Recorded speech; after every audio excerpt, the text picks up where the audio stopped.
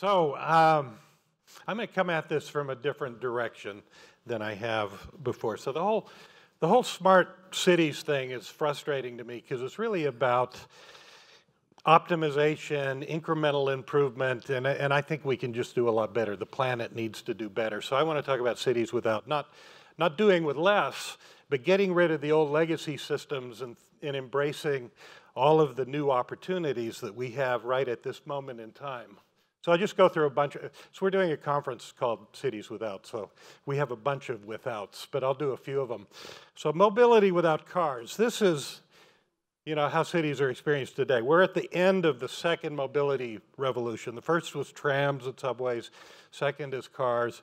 We're about to enter a new area, era that I think will, will be without cars, and, and it will combine these three things, autonomy, sharing, and ultralight electric mobility. So we like to build things in our group. We're, we're building a, a, new little vehicle somewhere between stationless bike share, ride share like Uber and Lyft. We call it a persuasive electric vehicle, persuade you to shift to a more efficient mode, persuade you to get more exercise. So in operation, you call for it like you would an Uber, and you can ride it to your destination. It's kind of fun to ride. We don't care about using autonomy for that unless you're disabled or elderly. It's constrained to bike lanes where there are no regulations currently, so that helps. And, but you, if you look here, it's, it's a social robot in, a, in the sense that if it works well, it interacts naturally with pedestrians. So if you notice, the woman in yellow smiled and the other one didn't even look up from her phone, which is what we were going for. So we're now building a third generation. It's being fabricated now at Nichinan in Nagoya, and we'll have it in our lab in May, and uh, we'll continue to do more testing. Housing without rooms. I think this is important. We, we need to get rid of parking spaces in cities and bedrooms, I, I believe.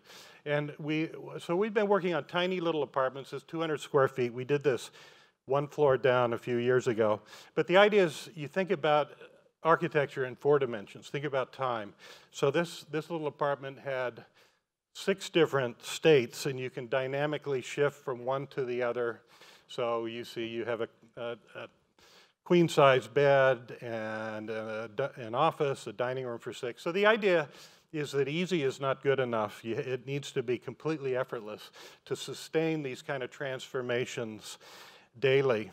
So we launched a little company five years ago. We're doing pretty well now. We, are working with developers from Vancouver to Miami. We'll be moving to Asia pretty soon. So this is a new product that, that I just designed for Ori. She wakes up in the morning making coffee the bed goes away and now she has a living room. So these are the kind of transformations that we're, we're very interested in. Order without planners. I think this is really important. Urban planning is sort of an obsolete 50, 100 year old profession the way it's currently practiced. So what we do if essentially is we pixelate the city or actually create voxels and then you can map uh, land use, density, demographic profiles, systems, whatever, to these little databases, and then the, me the metrics, uh, all of the visualizations, et cetera, can update in real time.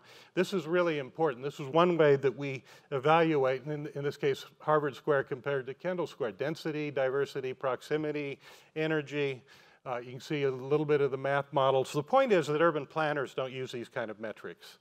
Uh, the, and so we, we, we, we have a consulting company that where we've been taking these ideas to scale. This is a big project in Hangzhou that we finished recently, five square kilometers. We, we use this approach. This, you see what he's doing here is, is he's dynamically mapping land use and density and profiles, can delineate the paths that the vehicles take, define the mobility modes. We then use agent-based simulation to simulate all the no, new mobility modes.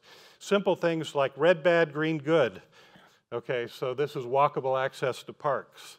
So she's picking an area that's red, replaces a block with buildings with a park, and you can do that with all kinds of things. So the process is looking at these layers of visualization. So I don't have time to get into this, but I'll just mention it. Economy without currency.